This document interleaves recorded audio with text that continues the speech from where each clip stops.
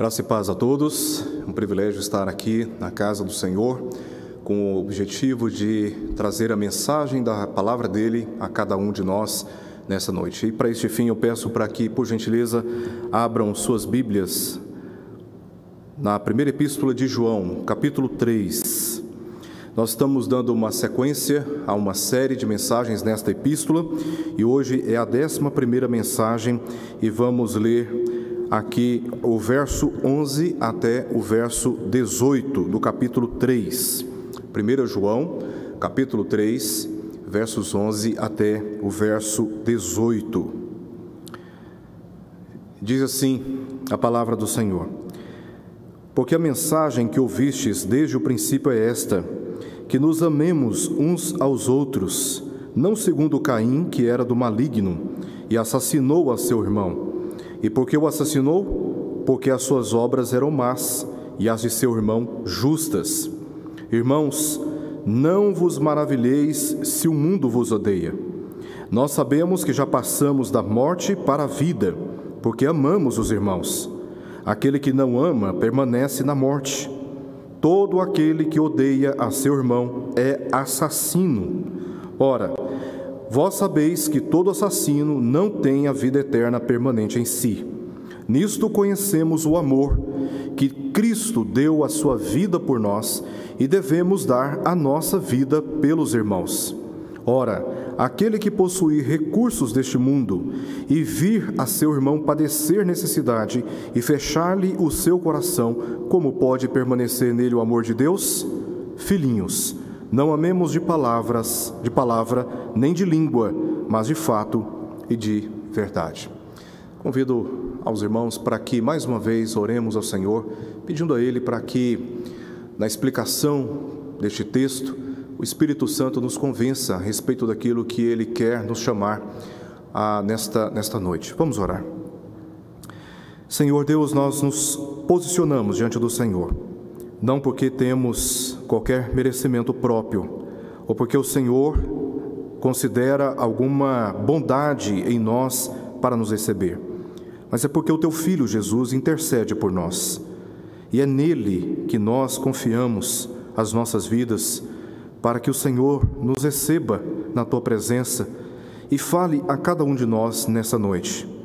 Sem a ação do teu espírito, essa palavra pode ser até lida e compreendida, mas só podemos ser convencidos a uma mudança de vida, a fim de glorificarmos o Teu nome, se o Teu Espírito nos der iluminação, compreensão, ó Deus, que excede a capacidade humana, para que os nossos corações sejam transformados, os nossos valores alterados, nossas condutas alinhadas com os preceitos da Tua palavra.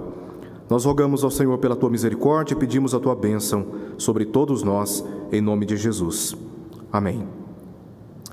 Meus queridos irmãos, embora o amor seja conceituado pela cultura secular como uma atração entre duas pessoas, uma paixão passageira e até mesmo uma ansiedade, as Escrituras definem o amor a partir de um conceito de compromisso com o Senhor, com o nosso Deus e também da sua aliança para conosco.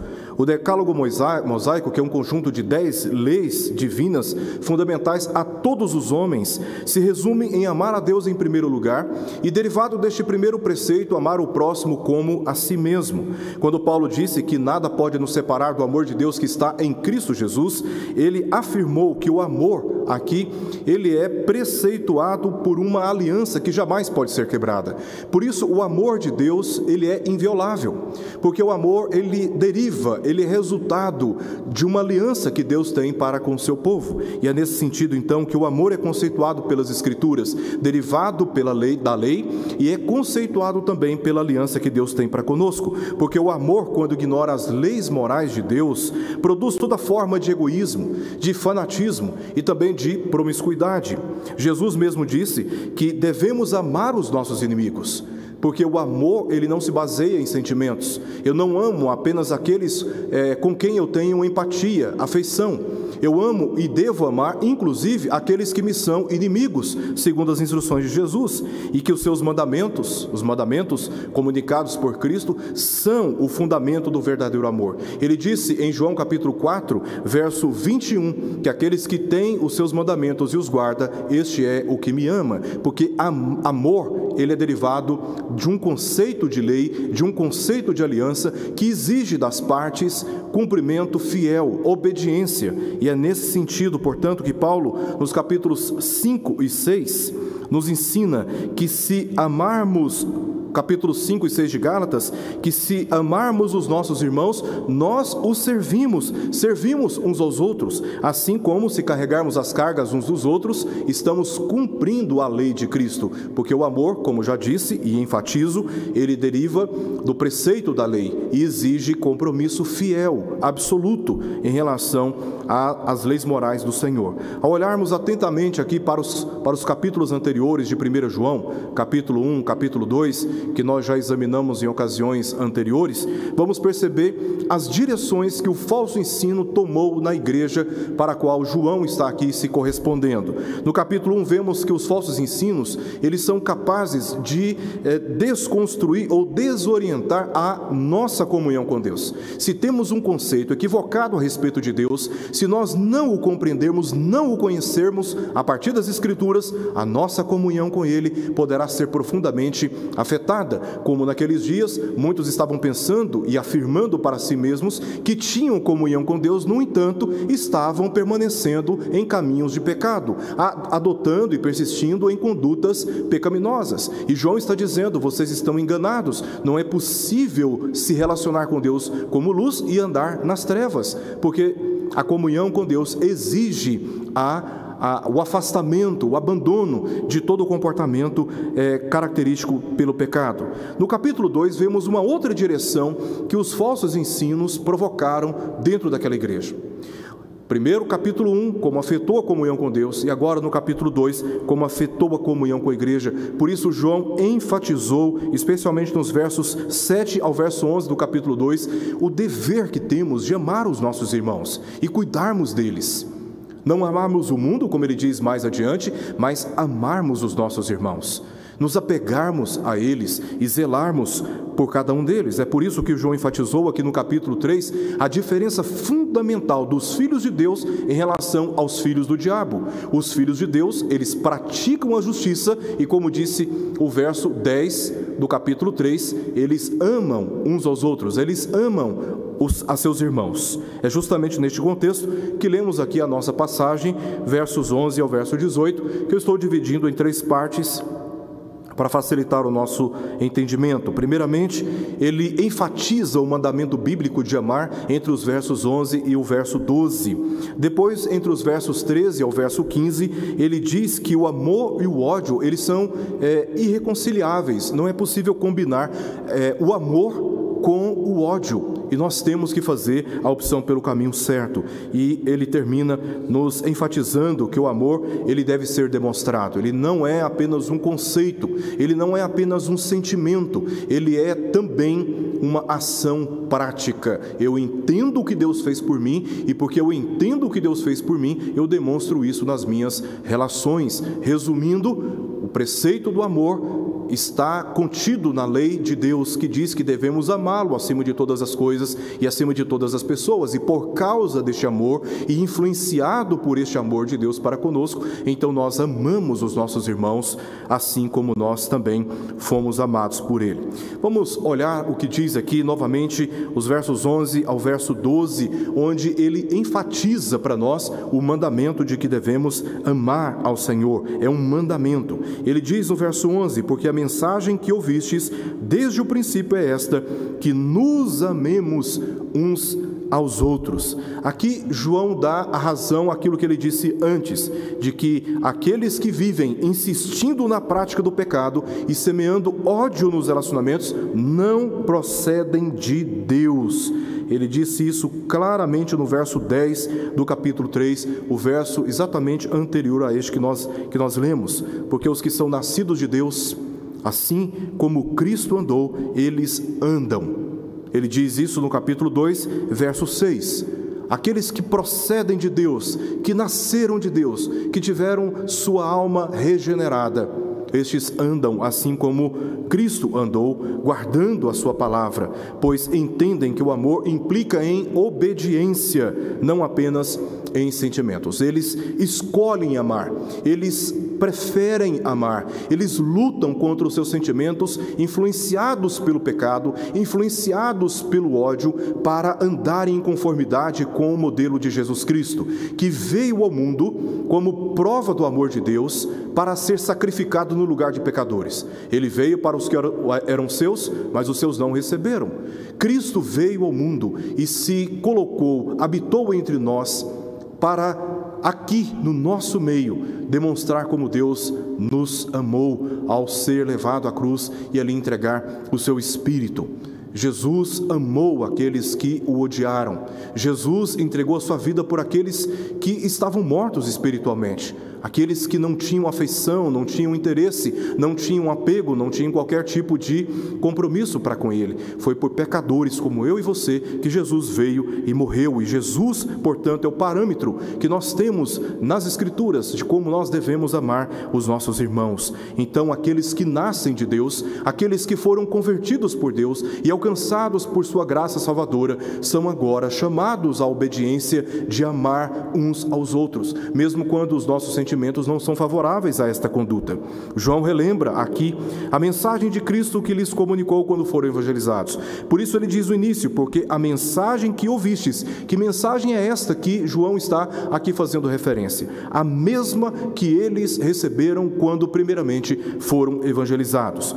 E qual a mensagem que João comunicou? a mensagem de Jesus, conforme lemos no capítulo 13 do Evangelho de João, verso 34. Jesus disse: Novo mandamento vos dou, que vos ameis uns aos outros, assim como eu vos amei, que também vos ameis uns aos outros. Jesus é um modelo deste padrão de conduta moral em face dos preceitos do Senhor, que nós devemos amar uns aos outros. João diz também no seu Evangelho, no capítulo 15, verso 12, sobre uma mensagem que Jesus comunicou. E essa foi exatamente a mensagem que ele comunicou quando evangelizou os seus destinatários. O meu mandamento é este: que vos ameis uns aos outros, assim como eu vos amei, disse Jesus. Ele insistiu aqui neste assunto, como eu disse, no capítulo 2, verso 7 até o verso 10. João novamente está dizendo: Amados, não vos escrevo um mandamento novo, senão um mandamento antigo, se referindo àquele mandamento que Jesus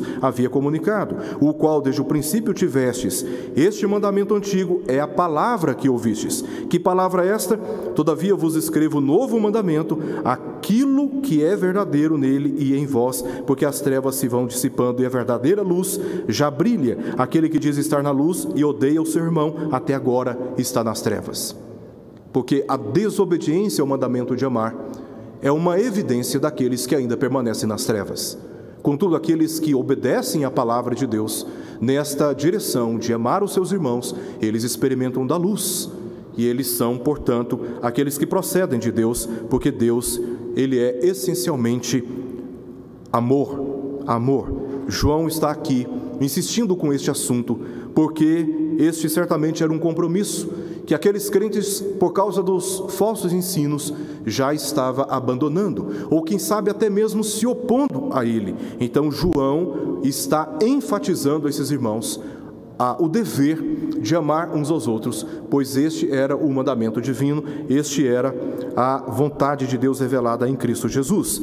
E na sequência, no verso 12, o que nós temos aqui é um exemplo negativo. Primeiro exemplo positivo está no verso 11, que aquele que é, recebe a palavra e obedece a palavra, este que procede de Deus, ele ama a seu irmão.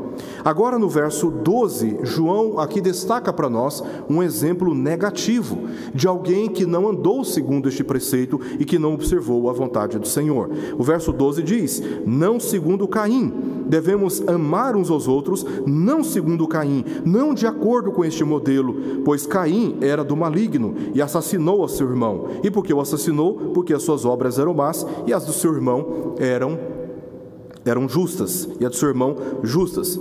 Caim e Abel, segundo o texto que nós lemos em Gênesis capítulo 4, é, do verso 1 até o verso 16, Caim e Abel ofereceram a Deus ofertas. Caim ofereceu do fruto da terra, enquanto Abel ofereceu das primícias do seu rebanho. Então Deus se agradou de Abel e da sua oferta, ao, ao passo que de Caim e da sua oferta não se agradou. Então Caim se irou contra o seu irmão. Ele foi tomado por uma inveja, por um ciúme contra o seu irmão. Ele, seu coração se encheu de ódio. O próprio Deus diz para Caim que ele estava cheio de ódio, de ira no seu coração.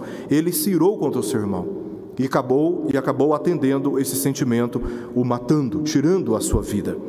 O autor de Hebreus diz que Abel exercitou a fé. Ele exercitou a fé na sua oferta, obtendo o testemunho de ser justo.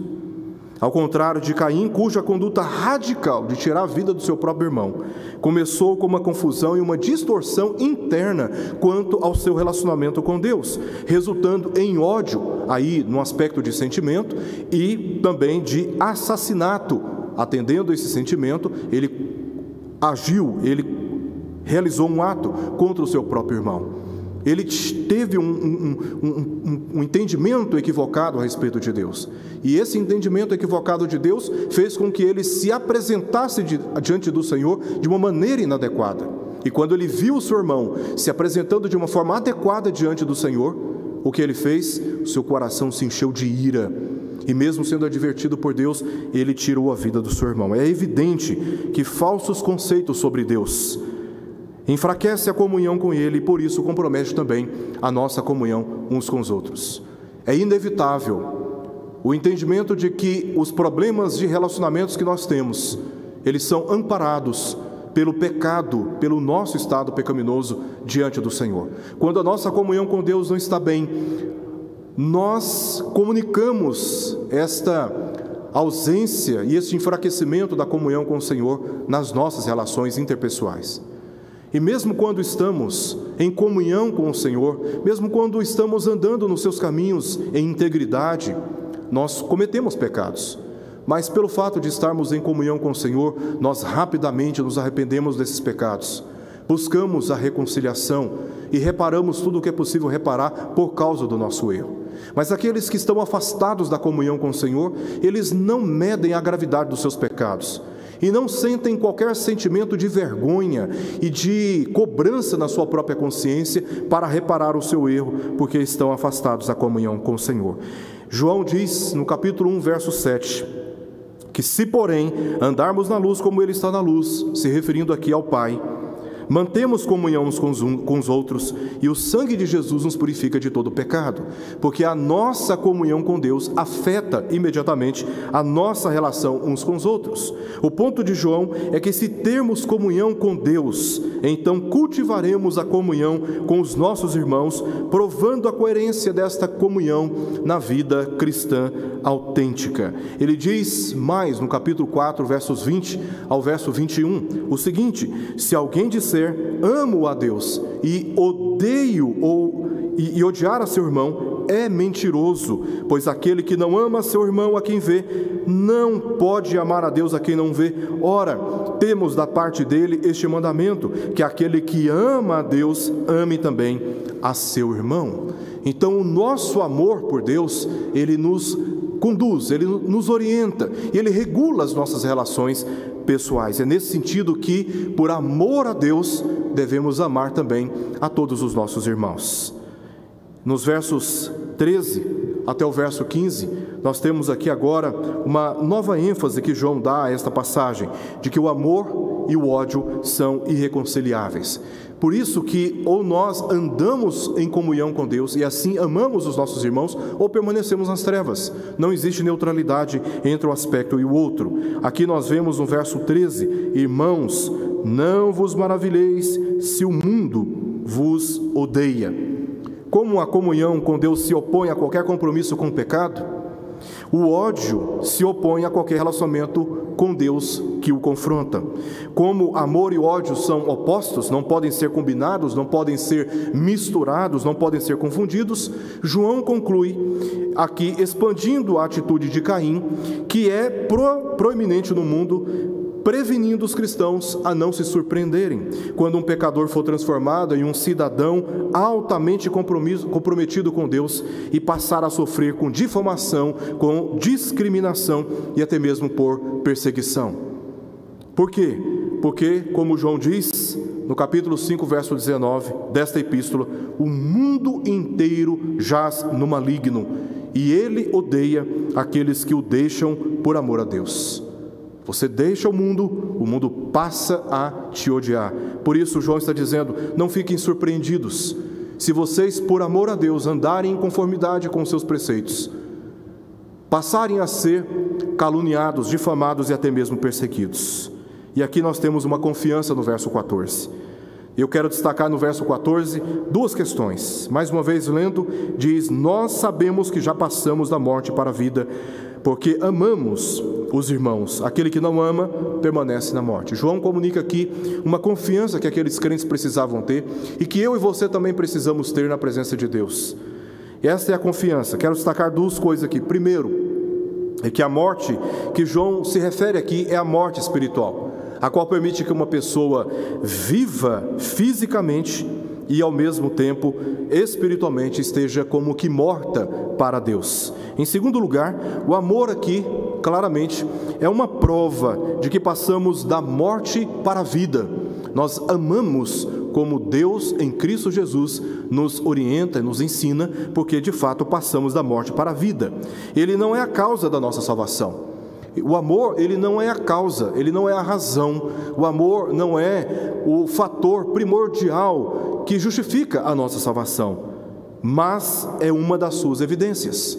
Eu amo como Cristo amou, como Deus amou em Cristo, porque eu fui salvo. E quando salvos, nos enchemos do amor de Deus por nossos irmãos, os nossos irmãos da fé, mantendo e protegendo a comunhão com eles como uma família saudável. Como um cristão genuíno, o meu anseio e o meu prazer é de estar na casa do Senhor, é de estar com os meus irmãos e desfrutar da comunhão com cada um deles, proferindo a mesma fé em Jesus Cristo. Eu tenho interesse de estar com o povo de Deus. Mas quando eu estou afastado da comunhão com o Senhor, ou quando até mesmo estou longe do Senhor, porque ainda não fui regenerado, eu não tenho interesse pela igreja, eu não tenho interesse pelos meus irmãos, eu não estou nem um pouco preocupado com o que se diz e o que une o povo de Deus em torno do testemunho das Escrituras.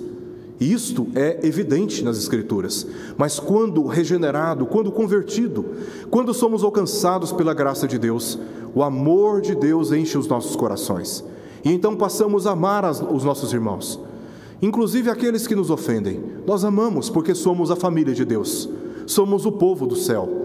Somos uma só geração eleita, somos o povo de propriedade exclusiva de Deus. Nós somos uma unidade e nós passamos a amar os nossos irmãos, os suportando, como diz o apóstolo Paulo, em amor. E este é o dever daqueles que foram, sim, salvos, regenerados do estado de morte para o estado de vida. Notemos o que ele diz aqui no final do verso.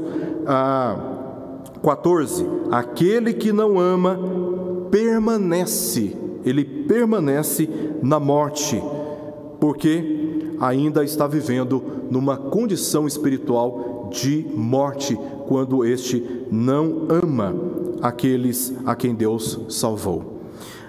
Logo na sequência, no verso 15, neste momento em que João está mostrando que amor e ódio são irreconciliáveis, primeiramente ele faz aqui uma defesa da confiança que os crentes devem ter na presença de Deus, porque uma vez salvos, eles são cheios do amor para com este amor amar os seus irmãos. E agora no verso 15 nós encontramos aqui uma advertência.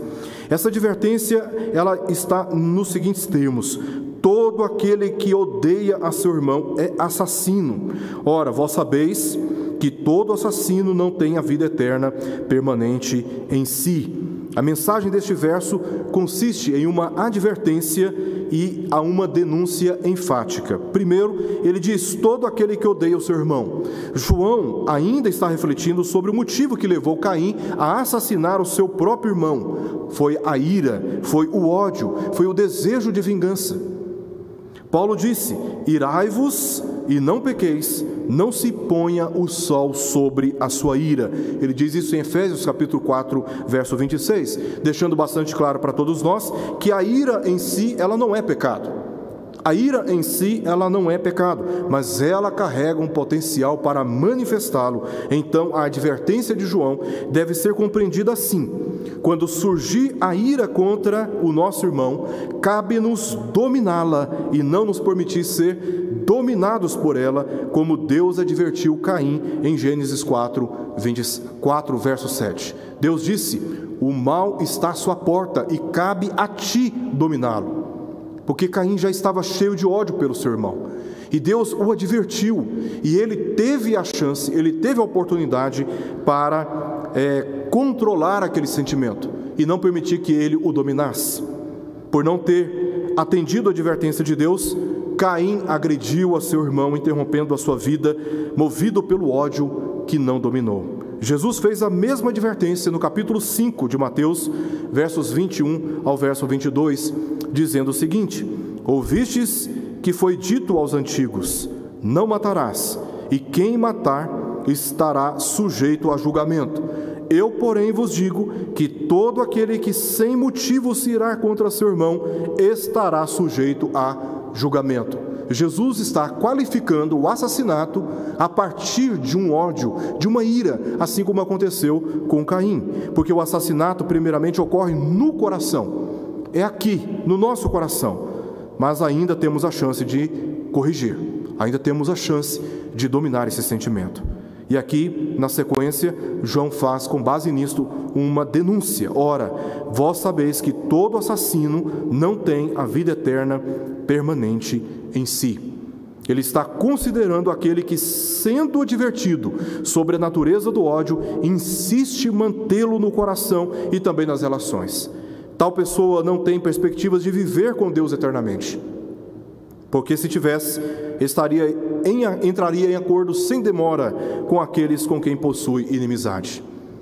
Ele tem problemas com o seu irmão, mas ele rapidamente entra em acordo com ele antes de chegar no tribunal, disse Jesus, porque ele entende muito bem o amor de Deus e a responsabilidade que ele tem diante da lei do Senhor. Mas aquele que não ama, este não tem a vida eterna permanente em si. Ou seja, aquilo que João disse aqui no verso anterior, que este permanece na morte, ele permanece na morte. Muito bem, João termina explicando para nós, entre os versos 16 ao verso 18, que o amor ele deve ser demonstrado. Ele não deve ser apenas um preceito intelectual, ele deve ser uma ação, um comprometimento relacional. E é nesse sentido que, inicialmente, no verso 16, ele define o amor para nós. O amor, como eu já disse, não é este amor que nós conhecemos no mundo, definido pela cultura secular. O verdadeiro, o verdadeiro amor é definido aqui nas palavras de João, quando ele diz: Nisto conhecemos o amor. Nisto conhecemos o amor, que Cristo deu a sua vida por nós. Esta é a definição máxima do amor. O Filho de Deus, a segunda pessoa da Trindade, ele veio ao mundo, deixando toda a sua glória, ele veio ao mundo como homem, como servo, nascido de uma virgem, andou entre nós, padeceu entre nós os sofrimentos comuns de um homem, com cansaço, com sede, com fome, com lágrimas, com insultos dos pecadores. Ele foi levado até a cruz por seus algozes e ali ele foi aviltado, ele foi humilhado, ali ele foi exposto como vexame diante de todo mundo. Jesus foi a maior prova do amor de Deus por cada um de nós. Ele estava na cruz, o Criador, o Deus encarnado, estava na cruz, sofrendo nas mãos de pecadores, por amor de mim e por amor de você. Nisto consiste o amor, fato de Cristo ter dado a sua vida por nós. Ele se entregou por nós ele foi capaz de morrer por criminosos, ele foi capaz de ser trocado por um criminoso. Ele aceitou essa missão, porque Deus nele estava provando ao mundo o seu amor. O amor de Deus é puro, o amor de Deus envolve doação. Não foi à toa que João disse no capítulo 3, verso 16, que Deus amou o mundo de tal maneira que deu o seu filho. E aqui está a maior prova do amor. Esta é a definição máxima do amor. E, este, e esta é a definição que deve controlar as, os nossos valores, que deve reger os, no, os nossos comportamentos e as nossas condutas nos nossos relacionamentos. E diante desta definição máxima, João continua agora exigindo o mínimo de cada um de nós porque nós não poderíamos morrer para que pela nossa morte fôssemos justificados. No entanto, Deus enviou o seu filho para que ele morresse no nosso lugar, e ele morreu em nosso lugar como prova do amor de Deus por nós, e a eficácia desta morte expiatória de Jesus Cristo transforma o nosso viver, transforma o nosso coração, tira, remove da nossa alma todo ódio, todo rancor, toda amargura e nos dá uma nova disposição espiritual nos dá uma nova disposição moral. E é por isso que agora João está aqui exigindo, observando a definição máxima do amor, pelo fato de Cristo ter dado a sua vida por nós, ao dizer que devemos dar a nossa vida pelos irmãos. Nisto conhecemos o amor, que Cristo deu a sua vida por nós e devemos dar a nossa vida pelos irmãos. É um dever não é um sentimento. Nós não precisamos esperar ter um sentimento. E nós não precisamos esperar que alguém faça algo que agrade o nosso coração e mereça o nosso amor. Não, é um dever com base no testemunho de Cristo ter dado a sua vida por nós.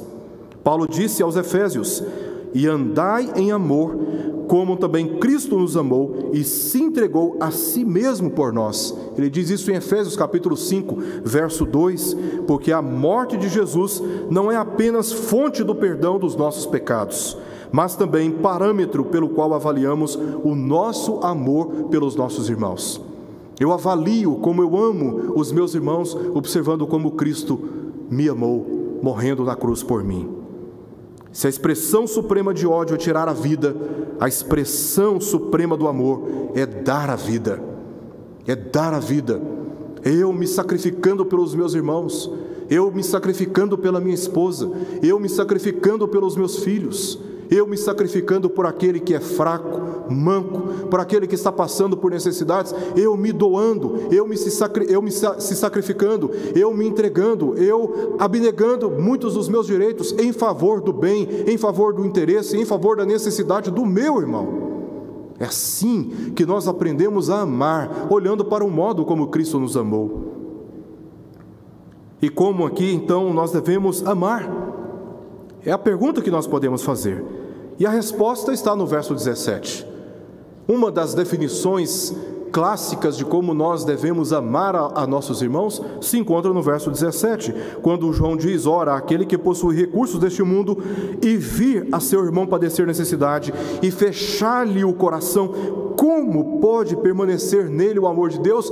Como alguém cheio do amor de Deus, em comunhão com Deus, é capaz de fechar os seus olhos para a necessidade do próximo? Eu já disse isso aqui uma vez e repito: uma experiência ao mesmo tempo negativa, também muito positiva que eu tive há alguns anos atrás. Eu entrei dentro do ônibus, o ônibus estava lotado e fui para trás do, do, do, motorista. Isso há alguns anos atrás, há poucos anos atrás, né? Eu era bem pequeno eu entrei dentro do ônibus e fui para trás do motorista, atrás da, da, cadeira do motorista. Antigamente os ônibus tinham um espaçozinho ali e eu encontrei aquele espaço para ficar ali, porque o ônibus estava realmente muito lotado. E eu não estava entendendo porque o motorista ainda estava parando o ônibus nos pontos seguintes, com o ônibus tão cheio de gente, a porta mal fechava. Então questionei na altivez do meu coração Questionei o motorista: por que você está parando se o ônibus está tão cheio? Você não está percebendo que o ônibus não cabe mais ninguém dentro do ônibus? E ele me deu uma resposta que nunca me esqueci. Quando ele disse o seguinte: Olha, você está dizendo isso porque você está dentro do ônibus. Se você estivesse do lado de fora, você estaria ansioso para entrar no ônibus e chegar no seu destino. Aquilo marcou profundamente a minha vida e eu nunca me esqueci. Que muitas vezes, uma vez que atendemos o nosso interesse, nós nos esquecemos do interesse daqueles que estão próximos de nós. E o amor de Deus enche o nosso coração, a ponto de nós percebermos as necessidades dos nossos irmãos e nos importarmos com eles, mesmo quando nós, no conforto pessoal, já temos as nossas necessidades supridas. Como pode fechar o nosso coração para aqueles que estão próximos a nós, precisando da nossa ajuda, e nós não somos capazes de nos mover em direção de acudir os nossos irmãos e atendê-los? Como uma atitude como esta pode demonstrar o amor de Deus em nós? João está dizendo: vocês não estão com o amor de Deus nos seus corações, porque se vocês tivessem, vocês não resistiriam o interesse de acudir o necessitado. Uma das maneiras pelas quais deixamos de exercitar o amor é se vermos o nosso irmão passando por uma necessidade material, tendo condições para supri-lo, nos negarmos.